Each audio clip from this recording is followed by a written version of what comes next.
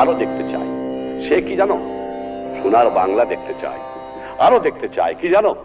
দুঃখী মানুষের মুখে হাসি ফুটাতে চাই আরও দেখতে চাই এদেশের দুঃখী মানুষ পেট করে ভাত খাক, গায়ে কাপড় পড়ুক অত্যাচার, অবিচার, জুলুম বন্ধ হয়ে যাক।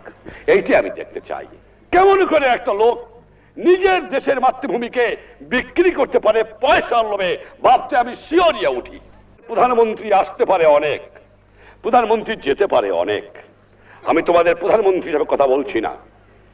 আমি তোমাদের জাতির পিতা হিসাবে আদেশ দিচ্ছি। তোমরা সৎ পথে থেকো। মাতৃভূমিকে ভালোবাসো। তুমি আমাকে খুন করতে পারো। একবার, দুবার, তিনবার, পাঁচ হাজার বার, ছ হাজার বার, তবু শেষটা যেন শেষটা আমার কিন্তু চিরকাল থাকবে তোমার চেয়ে বেশি হাতিয়ার। আমার কিন্তু চিরকাল থাকবে তোমার চেয়ে বেশি হাতিয়ার। দর্শক, প্রীতি এবং শুভেচ্ছা জানিয়ে শুরু করছে আমাদের নিয়মিত আয়োজন। নিয়মিত আয়োজন এই জন্য বলছি যে শোকের মাসে আমরা নানাবিধ বিষয় নিয়ে আপনাদের সামনে হাজির হচ্ছি এবং আমাদের মানুষ যার হাতিয়ার, এই শিরোনামে ইতিমধ্যেই আমরা বেশ কিছু অনুষ্ঠান প্রচার করছি এবং আপনাদের ভালো লাগা, মন্দ লাগা নিয়ে সেই বিষয়গুলো নিয়ে আমরা আবার আপনাদের সামনে হাজির হতে চাই। আমরা আজকে মানুষ যার হাতিয়ার এই অনুষ্ঠানে আমন্ত্রণ জানিয়েছি। আমাদের অসম্ভব রকমের প্রিয় একজন মানুষ, সবাই আমরা এক নামে তাকে চিনি, শাহ এ সারোয়ার। স্যার আপনাকে স্বাগত জানাচ্ছি আমাদের আজকের এই অনুষ্ঠান। দর্শক আজকে মানুষ যার হাতিয়ার এই অনুষ্ঠানে সারোয়ার ভাইয়ের কথা শুনব। সারোয়ার ভাই একটা বিষয় মানে আমার কাছে যেটি মনে হয় প্রায়শই আপনি বলেন যে মানুষকে যদি সম্পৃক্ত করা যায় যে কোনো কাজে তাহলে কিন্তু সেটার সাফল্য অতি দ্রুত আসে। আমরা বঙ্গবন্ধুর পুরো বায়োগ্রাফি যদি দেখি আমরা দেখার চেষ্টা করেছি। এর আগেও একটি অনুষ্ঠানে আপনি বলেছিলেন যে এই যে শিক্ষাটা এটাই কিন্তু একটা বড় শিক্ষা যে একজন নেতা বলি, একজন ব্যাংকার বলি, অর্থনীতিবিদ বলি, মানুষকে সম্পৃক্ত করতে হবে। আপনি কীভাবে দেখেন? পৃথিবীতে সামাজিক, রাজনৈতিক এবং অর্থনৈতিক সমস্যা সৃষ্ট হয়েছে এবং এটা সমাধানের বিভিন্ন প্রক্রিয়া কিংবা ফিলসফি এসেছে এবং এদের, এগুলো প্র্যাকটিসডও হয়েছে। ধরেন আমরা যদি কনভেনশনাল মার্কসিজমের ইভলিউশন থিওরিটা দেখি সামাজিকভাবে, যে আমরা ভাবছি যে এরকম ফিউডালিজমের পরে ক্যাপিটালিজম আসবে সোশ্যালিজম আসবে, এবং এরপরে হয়তো আমাদের কমিউনিজম আসবে, এবং এইভাবে পৃথিবীতে মানুষের অন্ন, বস্ত্র, বাসস্থানের সমস্যার সমাধান হবে। তো একটা জিনিস আপনি খেয়াল করেছেন কিনা, এগুলো কিন্তু পৃথিবীতে প্র্যাকটিসড হয়েছে। সোভিয়েত রাশিয়া হয়েছে চায়নায় হয়েছে, এবং আরও কয়েকটা দেশে হয়েছে। হওয়ার পরে এদের মধ্যেও যে একটা ফাঁক ফোঁকর দেখা যাচ্ছে যে তারাও যখন এগুলো প্র্যাকটিস করতে গেছেন, তখন তারা বলেছেন যে শ্রেণি, যে শ্রমিক শ্রেণি ভার্সেস পুঁজিবাদী শ্রেণি ভার্সেস শোষক শ্রেণি ভার্সেস শোষিত শ্রেণি, এই যে শ্রেণির ভিত্তিতে মানুষকে বিভাজন করা হয়েছে। এর আগে যেটা ছিল মানুষকে ধর্মের ভিত্তিতে বিভাজন করা হতো, মানুষকে তার সামাজিক স্ট্যাটাসের ভিত্তিতে বিভাজন করা হতো। কিন্তু সময়ের বিবর্তনে এখন যে জিনিসটা বোঝা যাচ্ছে, যে আপনি অর্থনীতি বলেন, সমাজনীতি বলেন, রাজনীতি বলেন, এই যে কোনো কিছুর মধ্যে যদি আপনি একটা ইনক্লুসিভ ব্যাপার ঘটাতে পারেন, যে আপনি যেটা বলছেন যে মানুষ যার হাতিয়ার, মানুষকে যদি আপনি সম্পৃক্ত করাতে পারেন, এটা একটু টাফ হতে পারে, কিন্তু এটাকে যদি আপনি করাতে পারেন, তাহলে আপনার সম্পূর্ণ রকম সাফ- সাফল্যটা আসবে। এবং বঙ্গবন্ধুর আমার কাছে মনে হয় যে এই জায়গাতেই একটা স্বাতন্ত্র্য বোধ যত দিন যাচ্ছে, যতই আপনারা দিন যাবে, ততই কিন্তু আপনারা বুঝতে পারবেন যে ওনার যে রাজনৈতিক বীক্ষণ যেটা সাতচল্লিশের আগে যখন উনি একদম একটা ছাত্রনেতা, তখন থেকে যে ওনার যে রাজনৈতিক বীক্ষণ ওনার যে রাজনৈতিক দূরদর্শিতা এবং ওনার যে রাজনৈতিক বিবর্তন, যেই বিবর্তনের মধ্যে উনি তিলে তিলে তিলে তিলে বাংলাদেশ নামক একটা রাষ্ট্রের জন্ম দেওয়ার ব্যবস্থা করেছিলেন, এর সমস্ত কিছুর মধ্যেই ছিল ইনক্লুসিভনেস হিন্দু মুসলমান বাদ দিয়ে, এবং শ্রমিক, এবং আপনার মালিক, সবাইকে মিলে যে একটা সলিউশন বের করা। এই সলিউশনটাই আমার কাছে মনে হয় যে ইউনিক এবং এটাই আপনার যে কোনো অর্থনৈতিক ডেভেলপমেন্টকে একটা দৃঢ় ভিত্তি দেয়। একটা তো থাকে যে সামাজিক বিষয়গুলো নিয়ে সবসময়ই আপনি বলেন। আমি যদি একটা চিঠির কথা আপনাকে বলি, বঙ্গবন্ধু একটি চিঠি লিখেছিলেন, যেটা আমরা সামরিক গোয়েন্দা তথ্য থেকে পাই, যেটি নেহরুর কাছে পৌঁছানো হয়েছিল এবং বলা হয়েছিল যে যদি কখনো তিনি বাংলাদেশের স্বাধীনতার কথা ভাবেন, তখন ভারত তাকে সমর্থন দিবে কিনা, এরকম একটি চিঠি। এবং সেই চিঠির জবাব এলো এক বছর পরে এবং বলা হলো, যদি এক লাখ মানুষ তোমার কথা শুনে এবং এক লাখ মানুষ তোমার কথায় প্রাণ দিতে প্রস্তুত হয়, তবেই শুধুমাত্র অন্য কেউ সহযোগিতা করবে। অদ্ভুত একটা ব্যাপার, অন্য কেউ। মানে এই যে বিষয় যে মানুষকে সম্পৃক্ত করতে হবে, একটা মতবাদকে সামনে আনতে হবে, অর্থনীতি হোক বা রাজনীতি হোক, কীভাবে দেখবেন? এটা তো আপনি দেখেন যে একাত্তর সাল যে ঘটনাটা আমাদের দেশে ঘটেছে, এটা পৃথিবীর অন্য যে কোনো দেশের তুলনায় এটা একটা অনন্য ঘটনা। কেন দেখেন? আমি কথা আপনাকে বলেছি যে একাত্তর সালে এদেশের মানুষ সশস্ত্র সংগ্রাম করেছে, অর্থাৎ জীবন বাজি রেখে তারা যুদ্ধে নেমেছে। এই মানুষ সম্বন্ধে যখন আমি কথাটা বলি, এই ধরনের জীবন বাজি রেখে যে যুদ্ধগুলো এর আগে হয়েছে, সেখানে দেখবেন যে কোনো একটা বিশেষ শ্রেণি আর একটা শ্রেণীকে উৎখাত করার চেষ্টা করেছে। একাত্তরে আপনি দেখেন, এদেশে মালিক শ্রমিক, কৃষক এবং ওই কৃষকের আস মানে সমৃদ্ধশালী কৃষকের বাড়িতে যিনি কামলা খাটেন, তিনি একই বাড়িতে মনে করেন তার কলেজ পড়ুয়া ছাত্র এবং সেই বাড়িরই যিনি মুনিশ, একই সঙ্গে একই কাতারে আপনি আর্মির মনে করেন অফিসার এবং আপনার সিপাহী একই কাতারে অস্ত্র ধরে যুদ্ধ করেছে। এই যে জীবন বাজি রাখার যে বিষয়টা, শ্রেণি বিষয়টাকে অতিক্রম করে মানবিক বন্ধনের মাধ্যমে এনে তৈরি করানোটা এটা আমার কাছে সবচেয়ে ডিফিকাল্ট একটা বিষয় মনে হয়েছে। এবং বঙ্গবন্ধু যেই যত বছর উনি রাজনীতি করেছিলেন, যে এদেশের মুক্তি কামনার জন্যে, উনি এই মেসেজটা খুব দ্রুত পৌঁছাতে পেরেছিলেন যে তোমার যে কোনো মুক্তি আসবে যদি তুমি সব মানুষকে নিয়ে আনতে পারো। একটা বিশেষ গোষ্ঠীকে তুমি বাদ দিয়ে এই মুক্তিটা আনতে পারবে না। এবং এটা ওনার আজীবনের মানে রাজনৈতিক অন্বেষার মধ্যে এটা ছিল, ওনার অর্থনৈতিক অন্বেষার মধ্যে এটা ছিল। বিখ্যাত আফ্রিকান একটা লোক কবিতা আমি জানি না যে বঙ্গবন্ধু এই কবিতা পড়েছেন কিনা, কারণ একদম গণমানুষের কবিতা। সেই কবিতাটি যদি বাংলা করা হয়, তাহলে তার অর্থটা দ্বারা এরকম যে তুমি আমাকে হত্যা করতে পারো একবার, দুবার, পাঁচ হাজার বার, দশ হাজার বার। কিন্তু জেনে রাখো, কিন্তু তোমার চেয়ে আমার হাতিয়ার সবসময়ই বেশি থাকবে। কারণ তোমার হাতে বন্দুক, আমার হাতে মানুষ। যে কারণে আমরা বলছি যে মানুষ যার হাতিয়ার এরকম একটি ব্যাপার। তাহলে সব কিছুর মধ্যে আমরা মানুষকে খুঁজে নিয়ে আসার চেষ্টা করছি এবং পরবর্তীতে দেখেছি যে এই মানুষকে বেশি ভালোবাসার কারণেই কিন্তু বা সে সময় মার্কিন যুক্তরাষ্ট্রের যে সমস্ত গোপন দলিলগুলো আমাদের সামনে আসে, সেখানে কিন্তু আমরা দেখেছি যে আসলে তার জনপ্রিয়তা এমনই একটা জায়গা যে ওই জনপ্রিয়তা ধস নামানো ছাড়া বা সেটাকে না কমালে মানুষ আরও বিক্ষুব্ধ হতে পারে এবং সেটার জন্য পর্যায়ক্রমে এই ব্যাপারগুলি ঘটতো। আমার কাছে মনে হয় যে নানা পর্যায়ে গবেষণায় আমরা দেখেছি যে এই যে একটা ষড়যন্ত্র, আমরা কি ঘুরে ফিরে প্রতিনিয়তই এই ষড়যন্ত্রে পা দিই? সেটা পঁচাত্তর হোক আর এই দু হাজার বাইশ হোক। একটা কথা আমি আপনাকে বলে রাখি যে পঁচাত্তরের পূর্ববর্তী পর্যায়ে বিশেষ করে সত্তরের দশক থেকে উনসত্তরের দশক থেকে বঙ্গবন্ধু আন্তর্জাতিক পর্যায়ে যে একটা প্রতিকূল অবস্থা ফেস করেছেন, এখন কিন্তু অতটা নেই। ওই সময়টা যদি আপনি যদি ধরে রাখেন যে দেখবেন যে তখন ভিয়েতনাম যুদ্ধ প্রায় শেষ হওয়ার পথে এবং তখন পৃথিবীর কোল্ড ওয়ারের একটা চূড়ান্ত জায়গায় এসছে এবং চায়নার সঙ্গে পশ্চিমা বিশ্বের একটা যোগাযোগ হওয়ার জন্য মধ্য ষাটের দশক থেকে একটা প্রচেষ্টা চলেছে। এবং এটার সবচেয়ে বড় অনুঘটক ছিল পাকিস্তান। এবং চায়নার সঙ্গে মার্কিন যুক্তরাষ্ট্র তথা পশ্চিমা বিশ্বের যে যোগাযোগটা সৃষ্টি হয়েছিল, এটা সরাসরি পাকিস্তান সাহায্য করেছে। এবং হেনরি কিসিঞ্জার ইসলামাবাদ থেকে আপনার বেইজিং গেছেন আপনার মনে আছে কিনা? চৌয়েনলাইয়ের সঙ্গে ওনার যে সেই বিখ্যাত মিটিংটা।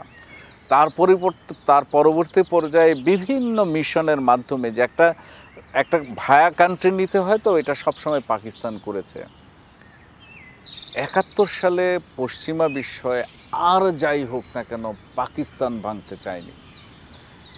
সেজন্যে তারা সর্বত রকমের চেষ্টা করে গেছে নাম্বার ওয়ান নাম্বার টু হলো, চায়না যেটা পিপলসের দেশ বলে বলা হয়, যেখানে চীন দেশকে আপনি গণমানুষের মুক্তির প্রতীক হিসেবে কেউ কেউ মনে করছেন এই বিষয়ে অনেক ডিবেট থাকতে পারে, আমি সেটা জানি। সেই চায়নাও কিন্তু তখন আপনার ফেভারে নাই। সেই সময়টাতে এতগুলো মানুষকে নিয়ে একটা দেশকে আপনি মুক্ত করেছেন। শুধু যে আপনি একটা দেশকে মুক্ত করেছেন তা নয়, আপনার দেশে কিছুই নেই। ধরেন আপনার এখন বিয়াল্লিশ বিলিয়ন ডলার আপনার রিজার্ভ সেটা এক বিলিয়ন কমলো না, দুই বিলিয়ন কমলো, আপনি পাগল হয়ে যাচ্ছেন, ঠিক আছে? আপনার রিজার্ভ তখন শূন্য। আপনি যে বাইরে থেকে একটা জিনিস কিনবেন, আপনার তো অন্তত জ্বালানি তেল তো কিনতে হবে, নাহলে তো সব বন্ধ হয়ে যাবে। তখন জ্বালানি তেল এবং আপনার টেক্সটাইলের এই র মেটেরিয়াল ছাড়া আমাদের আর কিছু কেনারও উপায় ছিল না, সেটুকু কেনারও তো টাকা আপনার কাছে ছিল না, এই দেশে। বঙ্গবন্ধু সেখান থেকে শুরু করেছে। এখনকার পরিপ্রেক্ষিতে যদি আসেন পৃথিবীর এতদিনে অনেক রাজনৈতিক বিবর্তন ঘটেছে কোল্ড ওয়ার বন্ধ হয়েছে, গুপ্ত খুন বন্ধ হয়েছে, কিন্তু আবার নতুন করে টেনশনগুলো অ্যারাইজ করেছে। এখন চায়না পৃথিবীর সবচাইতে বড় ডমিন্যান্ট একটা, বড় বলব না মানে সবচেয়ে বড় নয়, কিন্তু সবচেয়ে ডমিন্যান্ট একটা ইকোনমিক শক্তি হয়ে দেখা দিয়েছে, বিশেষ করে কনজিউমার ওয়ার্ল্ডের দিকে। এই সব কিছুর মধ্যে এখন আপনার আরও বেশি চোখ কান খোলা থাকা প্রয়োজন। এবং সবচাইতে যেটা বেশি প্রয়োজন গভর্নেন্স একটা বিরাট বিষয় গুড গভর্নেন্স একটা বিরাট বিষয়। আপনি যদি নিজে আপনার ম্যানেজমেন্টের বিষয়গুলোকে নিশ্ছিদ্র রাখেন, তাহলে আপনাকে কিন্তু অন্যরা অ্যাটাক করতে পারবে না। আপনার যদি সামান্যতম দুর্বলতা থাকে আপনার গভর্নেন্সে তাহলে অন্যরা কিন্তু আপনাকে অ্যাটাক করতে পারে, আপনাকে ভালনারেবল করতে পারে। আমার কাছে যেটা মনে হয়েছে, দেখেন, এদেশের সর্বোচ্চ পর্যায়ে সদিচ্ছার কোনো অভাব নেই। ভালোবাসার কোনো কমতি নেই, মানুষের মঙ্গল আকাঙ্ক্ষার কোনো কমতি নেই। তারপরে আমরা এই জিনিসটাকে যারা, আমরা যারা সঙ্গে আছি, আমরা তো এটাকে একটা সফল দিকে নিয়ে যাওয়াটা আমাদের দায়িত্ব এবং কর্তব্য। বঙ্গবন্ধুর খুব দুঃখের একটা কথা আছে, সেটা হচ্ছে যে তিয়াত্তর চুয়াত্তর অর্থ বছরে ঠিক বন্যার পরপর যখন ফসল তোলা হলো, দেখা গেল যে বাম্পার ফলন একেবারে। মানে ঠিক এক লাখ চুয়াল্লিশ হাজার মেট্রিক টন ফসল আমাদের বেশি হওয়াটা, এটা আমাদের মতো আগে থেকেই একটা হোমওয়ার্ক তার ছিল। কিন্তু বাজার পরিস্থিতিতে গিয়ে দেখা গেল যে অধিকাংশ, অর্থাৎ পঁচাত্তর শতাংশ এই যে খাদ্যশস্য, সেটি মজুদদারির কবলে পড়ে গেল। একেবারে আমরা যতটা মার্কিন দলিল প্রকাশিত হয়েছে যে সিআই এর অর্থায়নে সেটি আমাদের দেশেই কেউ না কেউ সেগুলো কিনে গুদামজাত করা মজুদদারি করা এবং কৃত্রিমভাবে খাদ্য বাড়ানো এবং কৃত্রিমভাবে খাদ্য সংকট তৈরি করা তখন কিন্তু আমাদের মানে খাদ্য দুর্ভিক্ষ নয় কিন্তু আমার পাঠানোর মতো পরিস্থিতি অত হ্যাঁ, কমিউনিকেশন সিস্টেমটি ছিল না। সব কিছু মিলিয়ে যে এই যে কঠিন একটা ম্যানেজমেন্টের কথা আপনি বলছেন। আপনি বলছেন যে এক মিলিয়ন কমলো কি কমলো না সেটি নিয়ে কত ধরনের আমরা হ্যাঁ, আলোচনা সমালোচনা হ্যাঁ। করি। কিন্তু একটাবার কি আমরা ভাবি যে আমাদের যাত্রাই হয়েছিল যে একেবারে শূন্য হাতে? হ্যাঁ। এই জায়গাগুলোতে আমরা আরেকটু এই প্রজন্মকে কীভাবে সম্পৃক্ত করব? সাধারণ মানুষকে সম্পৃক্ত করার ব্যাপার তো বারবারই চলে আসে। সেই জায়গায় কি কোনো ঘাটতি একটা দেখছেন না আমি কেন ঘাটতি দেখছি না? আমি কেন সমালোচনা করতে চাই না। বাংলাদেশের যে এখন যে পরিস্থিতিটা, অর্থনৈতিক যে পরিস্থিতি, এটা সত্যিকারভাবে একটা ম্যানেজেবল পরিস্থিতি। এদেশের অর্থনৈতিক ডেভেলপমেন্টের মধ্যে যে আমাদের, এই যে বঙ্গবন্ধুর সৃষ্ট যে আমাদের যে মেইন ফিলোসফিটা যে তুমি ইকোনমিক গ্রো করাও, কিন্তু তার সঙ্গে ডিস্ট্রিবিউশন চ্যানেলটা তুমি এনশিওর করো। এবং সেই ডিস্ট্রিবিউশন চ্যানেলটা কিন্তু চ্যারিটি দিয়ে না ইনভলভমেন্ট দিয়ে। এই জিনিসটা কিন্তু এদেশে হয়েছে। যেই কারণে আপনার যত অপচয় হোক না কেন, এদেশের রুরাল ইকোনমির একটা সত্যিকারভাবে ব্যাকবোন দাঁড়িয়েছে। আপনি কালকে ইচ্ছা করলে বাংলাদেশ, শ্রীলঙ্কা হবে না। আপনি যত কথাই বলেন, এটা সম্ভব নয়। আপনার রিজার্ভ যদি এখন অর্ধেকেও আসে, আপনাকে একটা উদাহরণ দিয়ে বলি। আমি একদম স্ট্যাটিস্টিক্যালি ভুল হতে পারে। ধরেন বলেছে যে গত বছর আমাদের শর্টেজ ছিল চার বিলিয়ন ডলার হ্যাঁ এক্সপোর্ট ইম্পোর্টের ধরেন এবছর আপনার এটা শর্টেজ আট বিলিয়ন হোক, তাহলে আপনার কততে নামবে? ধরেন চল্লিশ থেকে আট গেলে বত্রিশ, তিরিশে নামবে। কি হলো তাতে? আপনাকে যখন অনেকে রিজার্ভ ক্যালকুলেট করে, আমাদের তার ছয় মাসের ইম্পোর্ট আছে, চার মাসের ইম্পোর্ট আছে, ছয় মাস, চার মাসের ইম্পোর্ট আছে, যখন আপনি অ্যাসিউম করেন যে আপনার এক পয়সাও এক্সপোর্ট হবে না, ঘটনা তো তা না। আপনাকে তো ঠান্ডা মাথায় বুঝতে হবে যে আমি সারা বছরও যদি আমার গ্যাপ থাকে, তাহলেও আমি আট বিলিয়ন না হয় আমার গ্যাপ হবে। আর এই তিরিশ বিলিয়ন আমার যদি গ্যাপ যেতে থাকে, এর মধ্যে যদি আমি কোনো রেমিডিয়াল কিছু না করি এবং যে কোনো বোকাই তো রেমিডিয়াল করবে, তাহলে আমার শূন্য হতেও পাঁচ বছর লাগবে। সুতরাং আপনাদেরকে আমি যে কথাটা আমি বলি যে আসলে এই মুহূর্তে দরকার ঠান্ডা মাথায় চিন্তা করে সিচুয়েশনটা কি? মানে এটা খারাপ হলে কত খারাপ? এটার গ্যাপ হলে কত গ্যাপ মিসম্যানেজমেন্ট হলে কত মিসম্যানেজমেন্ট প্যানিকি না হয়ে এটাকে গুটিয়ে নিয়ে আসা, এ নিয়ে এটাকে ইমপ্রুভ করানো এবং এটাকে আপনার মানে মানুষ সহজ যে কথাগুলো বিশ্বাস মানে বললে যেগুলো একটা চিপ পপুলারিটি পাওয়া যায়, সেটা থেকে বেরিয়ে এসে, কারণ এটা সিরিয়াস ম্যাটার এটা ইকোনমিক্স এখানে মানুষের ইনভলভমেন্ট এখানে মানুষের আপনার এমপ্লয়মেন্ট আছে। এবং এই ধরনের ঘটনাতে দুটো জিনিস সবচেয়ে খারাপ হয়। একটা হলো, যদি কেউ প্যানিক ক্রিয়েট করতে পারে, ধরেন বাঘ একটাই আসে, কিন্তু সারা গ্রামের দুই হাজার লোক দৌড়াতে থাকে আর বোঝেন কথাটা। তো একটা বাঘ তো একটা লোককেই মারবে, বা দুজনকেই মারবে, কিন্তু দু হাজার লোক দৌড়ায়। অর্থাৎ panic is a serious matter আরেকটা হলো, সত্য কথন। আপনি স্ট্যাটিস্টিক্স নেন স্ট্যাটিস্টিক্স নিয়ে বসেন যে হ্যাঁ আমার ড্যামেজ হলে কি হবে? ধরেন আমার যে ট্রেড ডেফিসিট প্রতি বছর হয় কারেন্ট অ্যাকাউন্ট ডেফিসিট হয়, এই বিষয়টা তো আমাকে রেকগনাইজ করতে হবে। পৃথিবীর সবচেয়ে বেশি ট্রেড ডেফিসিট কোন দেশে জানেন? মার্কিন যুক্তরাষ্ট্র। সবচাইতে ধনী দেশ। তো তারা তাদের ব্যালেন্স মেনটেন করছে না, কি করছে? যখন আপনার কারেন্ট অ্যাকাউন্ট ডেফিসিট হয়, তখন আপনি এটা এফডিআই দিয়ে কাভার করেন।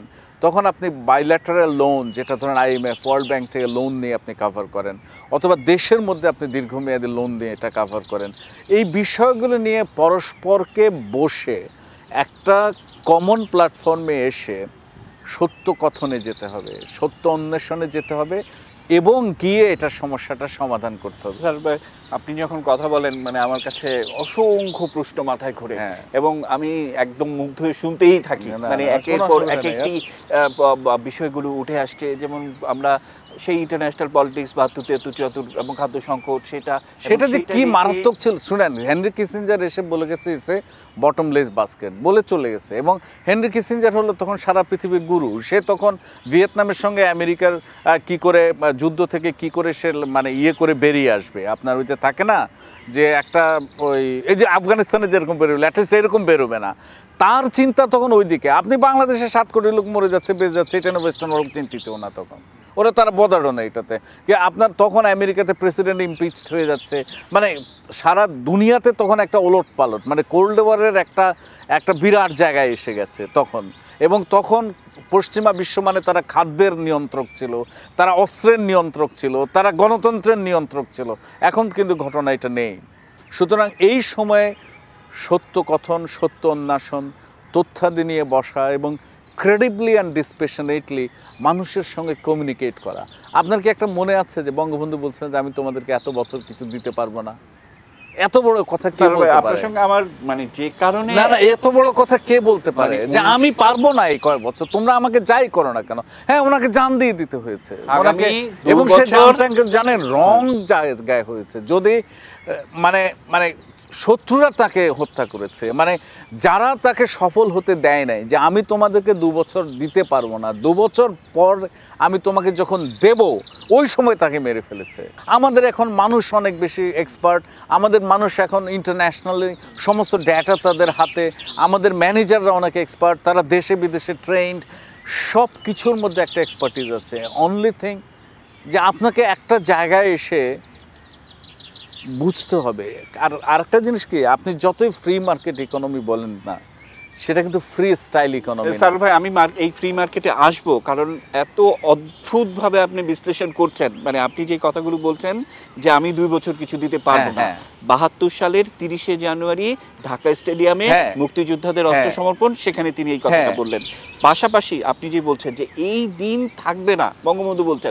এবং সে কখন বলছেন বলছেন যে দেখো পৃথিবীর অন্য সব দেশে যেমন মার্ক্সবাদ, কোথাও লেনিনবাদ, কোথাও অমুক তমুক সব আছে। কিন্তু আমার দেশে যে সাধারণ মানুষ, তার মধ্য থেকে উঠে আসবে তার কনসেপ্ট তার মতবাদ। সেই মতবাদটা আমি বাংলাদেশের মানুষকে খুব ভালো করে চিনি। কিন্তু সঠিক কথা সঠিকভাবে, সঠিক জায়গায় বলতে না পারলে সমস্যা কিন্তু আরও বাড়ে। ফ্রি মার্কেট ইকোনমি আর ফ্রি স্টাইল ইকোনমি এক জিনিস নয়। ফ্রি মার্কেট ইকোনমিরও আপনার যে রোল আমার যে রোল ওনার যে রোল ওনার যে রোল এগুলো সব ডিফাইন্ড আছে। আমরা চারজনে যদি রোলটা প্লে করি, তাহলে আমাদের চারজনের বেনিফিট হবে। কিন্তু আপনি যদি এটাকে ফ্রি স্টাইল ইকোনমি মনে করে আপনার রোলটাকে আপনি পারভার্ট করে ফেলেন, বিকৃত করে ফেলেন, তাহলে আমরা বাকি তিনজন সাফার করব। তখন করতে হয় কি, যে ফ্রি মার্কেট ইকোনমির যে লিভারগুলো আছে, কতগুলো লিভার কাজ করে? ধরেন revenue sector monetary sector finance sector revenue collection banking sector law এবং অ্যাডমিনিস্ট্রেশন এই কতগুলো লিভার আছে একটা ফ্রি মার্কেট ইকোনমিকে ধরে রাখার জন্য। ফ্রি মার্কেট ইকোনমিতে আপনার যারা মেজর প্লেয়ার এরা সোল সার্চিং করতে হবে। মিষ্টি কথা বললে হয় না। আমি ধরেন আমার বুড়ি বেড়ে গেছে মানে খেয়ে দে। আপনি বলেন স্যার ভাই আপনাকে খুব হ্যান্ডসাম লাগছে। আমি আরও খাওয়া শুরু করলাম। তিন মাস পরে পেট ফেটে মরে যাব। ঘটনা কিন্তু তাই। আপনাকে বলতে হবে যে হ্যাঁ আপনার স্বাস্থ্য খারাপ হচ্ছে। কিন্তু উপায় আছে ভালো করার।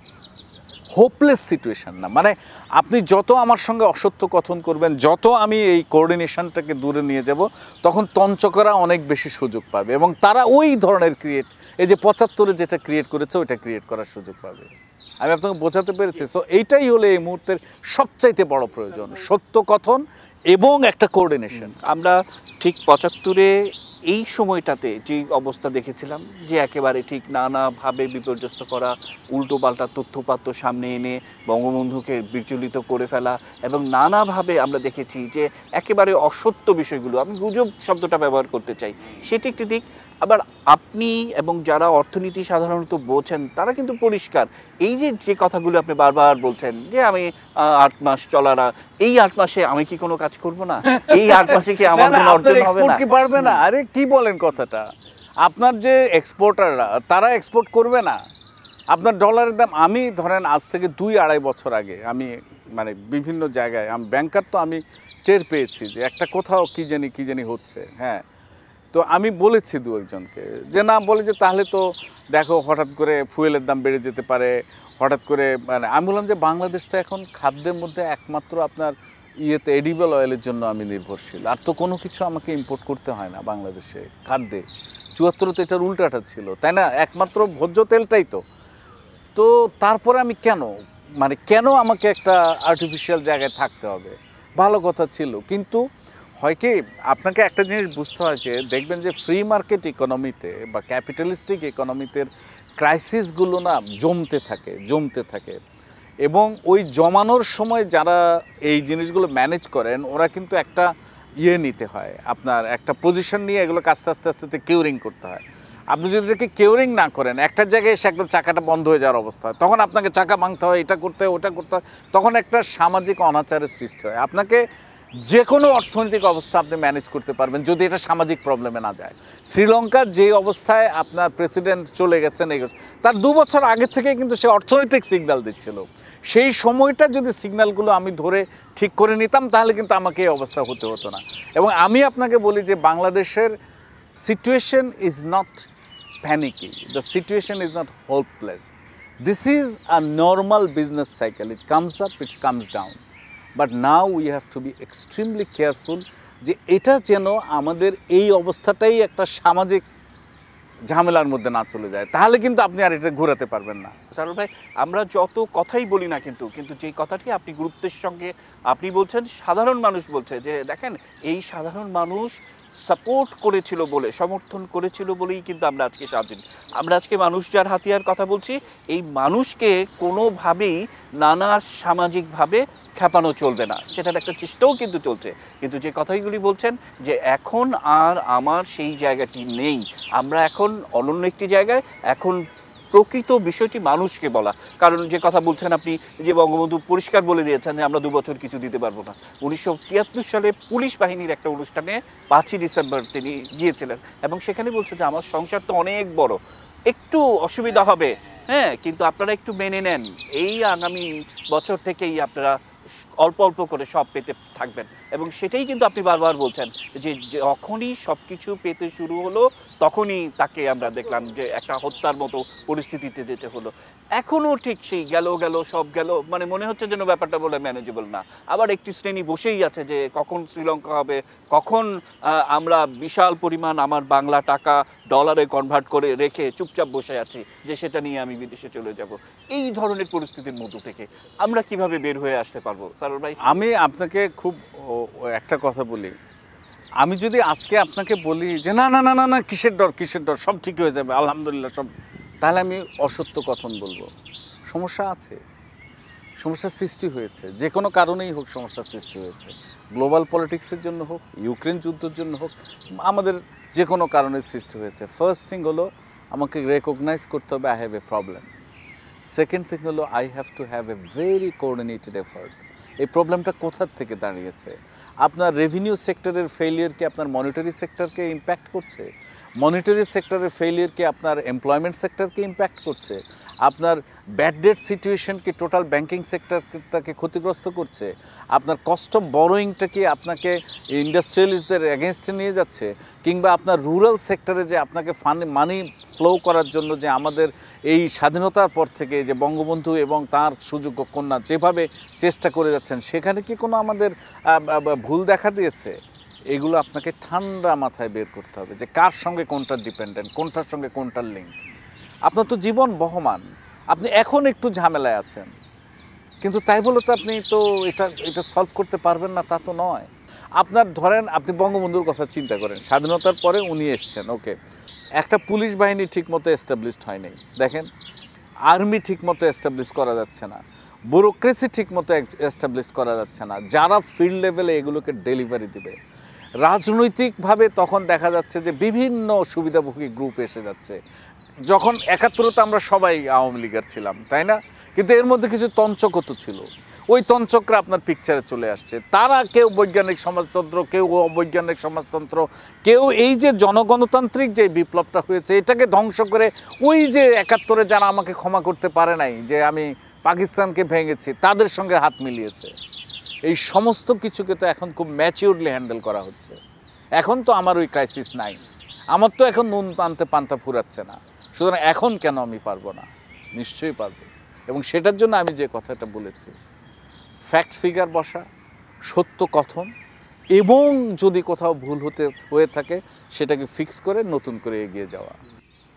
স্যার ভাই, আমরা প্রায় শেষের দিকে, কারণ আমার কাছে মনে হয়েছে আপনার সঙ্গে কথা বলে যে যে কোনো মানে আপনি যেটা করেন, যে কোনো অনুষ্ঠানের শেষ দিকে এসে number one number two number three এরকম করে একেবারে সংখ্যা দিয়ে প্রথম কি করা উচিত? কারণ আমরা কিন্তু সবাই যারা দেশকে ভালোবাসি দেশের জন্য কিছু করতে চাই তাদের কিন্তু এটা একটা অদ্ভুত ব্যাপার যে আমরা চাই যে এই সমস্যাগুলো কারণ এগুলো তেমন কোনো সমস্যা না কিন্তু যেভাবে অপপ্রচারটা আমরা দেখছি এই অপপ্রচার আমি সবচেয়ে আশাবাদী কোথায় অপু? আপনাকে বলি এদেশের যে সর্বোচ্চ নেতৃত্ব সেখানে দেশপ্রেম আছে মানুষের প্রতি প্রেম আছে নিজের জীবনকে ত্যাগ করার প্রতি তার কমিটমেন্ট আছে।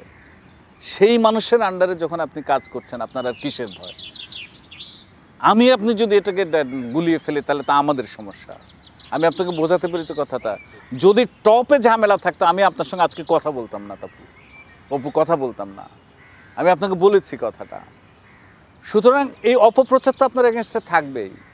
কিন্তু আমার, আপনার যে রোলটা আমি এটা পালন করতে স্যার ভাই আসলে যে কথাগুলো বলতে ভালো লাগে অর্থাৎ সেই বঙ্গবন্ধু বঙ্গবন্ধু থেকে শেখ হাসিনা এবং যে কথাটি আপনি বললেন যে আসলে যারা মরতে প্রস্তুত থাকে হ্যাঁ মানে তারাই তো আসলে না না ধরেন যদি ব্যক্তিগত লোভ লালসা দিয়ে দেশটাকে ওই শ্রীলঙ্কার মতো লুণ্ঠনের মতো নিয়ে যাওয়া হতো তাহলে আমি আপনি এরকম কথা বলতাম নাকি ভাই? আমি ঘরে ঘুমাইতাম এই সময়।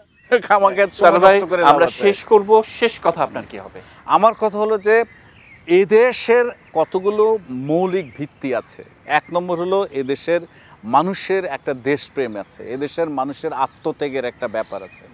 এদেশের কিছু দৃঢ় অর্থনৈতিক ভিত্তি তৈরি হয়েছে, যেখানে একটা ফাইন্যান্সিয়াল ইনক্লুশন মডেল এদেশে কাজ করছে। সামান্যতম হলেও ভুলভ্রান্তি আছে। এই দুটা জিনিস যেই দেশে আছে, সেই দেশে যে আপনার উপরিকাঠামোর যে বিচ্যুতিগুলো, যে আপনার ফরেন এক্সচেঞ্জটা কী হলো, আপনার long term debt versus short term ডেটে মিসম্যানেজটা কী হলো, এগুলোকে সহজেই সমাধান করা যায়। এই দেশের মৌলিক জায়গায় কোনো সমস্যা নাই। সমস্যা হলো সামান্য উপরি কাঠামোতে কিছু ম্যানেজমেন্টের সমস্যা। যে ওয়াহিদুদ্দিন মানুষের আজকে বলেছে মিসম্যানেজ ম্যানেজমেন্টের কিছু সমস্যা, কিছু অপচয়ের সমস্যা, কিছু মানে ঘটকারীর কিছু লোকজন সুবিধা নিয়ে নিয়েছে, এই ধরনের কিছু সমস্যা। এইগুলোকে এইভাবে বন্ধ করে দেওয়া যায়। এটা কোনো ব্যাপার না তো। স্যার ভাই, অসংখ্য ধন্যবাদ আমাদেরকে সময় দেওয়ার জন্য এবং আবারও আমরা আশা করব যে আসলে এইরকম একটি পরিবেশে কথা বললে এটার যে পলিসির ব্যাপারগুলো সামনে আসে, সেটা নিয়ে কী করণীয়, সেটার কিন্তু একটা সমাধান পাওয়া যায়। বারবারই আমি মানে আপনাকে অনুরোধ জানাই যে আমরা আসলে চার দেয়ালে বন্ধ না থেকে এরকম একটা প্রাকৃতিক পরিবেশে কথা বলাটা অনেক কিছু বুঝতে সুবিধা আমি একটা উদাহরণ আপনাকে বলি। ধরুন আমি ব্যাংকার হ্যাঁ আমি এই ব্যাংকটাতে দশ বছর আছি। আমি প্রথম দিন যেটা, আমার রোলটা আমি বলি। আপনি যদি কেউ বলে, তুমি মিয়া কী করেছ? আমার রোলটা কি? এই দেশের ব্যাংকিং করতে হলে আপনাকে গণমানুষকে আনতে হবে। দশ বছরে টেকনোলজি পিপল প্রিপারেশন করে প্রায় এক হাজার জায়গায় চলে গেছি। আরও পাঁচশো জায়গায় চলে যাব। যারা ব্যাংকে ঢুকতে ভয় পায়, ওরা যেন এসে ব্যাংকে ঢুকে। আমি যদি এক একজনের দশ টাকা, বিশ টাকা, পঞ্চাশ টাকা, দুই হাজার টাকা যদি কালেক্ট করতে পারি, ওইটাই আমার ব্যাংক আপনি যদি আপনার মেইন ইকোনমিক অ্যাক্টিভিটিটা সব মানুষের সঙ্গে জড়িত করে ফেলতে পারেন, তখন আপনার যে সাকসেস এইটা কিন্তু এই দেশের সর্বোচ্চ নেতৃত্বেরও এটাই কমিটমেন্ট কিন্তু আমি, আপনি আমার রোলটা যখন দেন, আমরা পারি না করতে, আর কি, আমরা করি না। অসংখ্য ধন্যবাদ স্যার ভাই, আপনাকে। দর্শক, এই ছিল আমাদের আজকের আয়োজন। আবারও দেখা হবে আমাদের অন্য আয়োজনে। ততক্ষণ ভালো থাকবেন, আমাদের সঙ্গেই থাকবেন। আমাকে খুন করতে পারো। একবার, দুবার, তিনবার, পাঁচ হাজার বার, ছ হাজার বার, তবু শেষটা যেন শেষটা